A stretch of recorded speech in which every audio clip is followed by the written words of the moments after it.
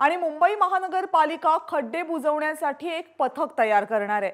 मुख्यमंत्र्यांनी महानगरपालिका प्रशासनाला या संदर्भात आदेश दिलेले आहेत आणि एबीपी माझाच्या बातमीनंतर प्रशासनानं या सूचना दिल्यात.